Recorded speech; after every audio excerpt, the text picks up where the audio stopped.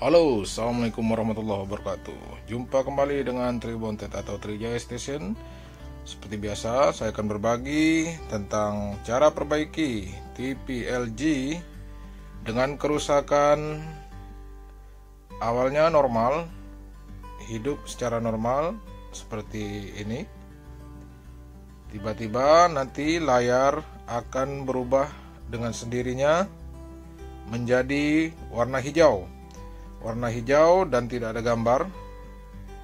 Dan juga uh, disertai dengan kotak-kotak yang bergaris. Untuk awal dia bisa hidup secara normal. Seperti ini. Nanti tiba-tiba macet dan berubah jadi hijau bergaris seperti ini. Nah ini dia. Layarnya bergaris gambarnya hilang dan tak lama kemudian jika kita biarkan hijau seperti ini nanti dia akan mati sendirinya atau istilahnya protek. Jadi TV tidak bisa dihidupkan lagi kalau sudah protek. Jadi kita harus perbaiki dulu. Kita coba buka dulu ya. Kita buka baut-bautnya untuk tipenya sendiri ini LG masih LG LCD ya, bukan LED, masih LCD ini. Model lama tapi masih banyak dipakai dan banyak sekali permasalahannya. Nah, ini dia. Masih seperti ini bentuknya. Ini untuk regulatornya, kemudian ini mainboardnya. Nah, ini mainboardnya terpisah. Oke, seperti ini. Nah, itu ketikonnya. Oke, seperti ini penampakannya. Bagian dalamnya atau jeroannya. Nah, ini.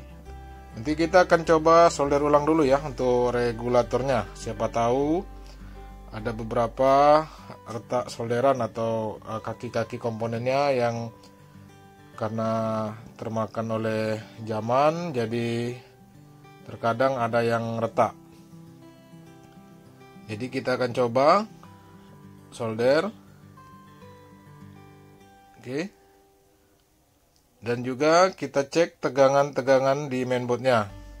Kadang permasalahan ada pada mainboard yaitu untuk pengatur tegangannya. Seperti penurun tegangan seperti IC uh, 1117 nah, itu sering sekali. Nah, ini kita ukur. Dia ada yang 5 volt ya ada dua IC yang 5 volt dan juga ada dua IC yang 3,3 volt diturunkan jadi 1,8 volt. Yang ini yang saya cek ini ini yang 3,3 volt input dan uh, jadi 1,8 setelah diukur uh, normal yang 5 volt normal yang 3,3 juga normal. Oke ini. Ini yang 1,8 ini kan? Nah ini. 1,8 kalau yang ini dia 5 volt. Nah, ini 499 berarti 5 volt ya? Oke jadi untuk dua IC yang 5 volt yang kemudian yang 3,3 turun jadi 1,8 tidak ada masalah. Oke. Jadi cukup kita solder ulang untuk regulator tegangannya aja.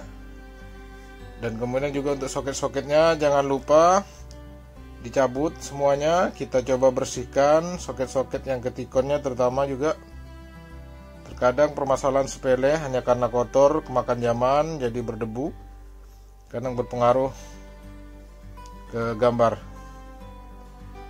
jika tegangannya normal. Oke tidak ada masalah untuk tegangan. Oke inilah hasilnya setelah kita rakit ulang bisa normal kembali. Dan ini sudah dites uh, satu harian ya. Dari pagi sampai dari sore sampai malam jam 8 malam tidak ada masalah. Oke itu aja.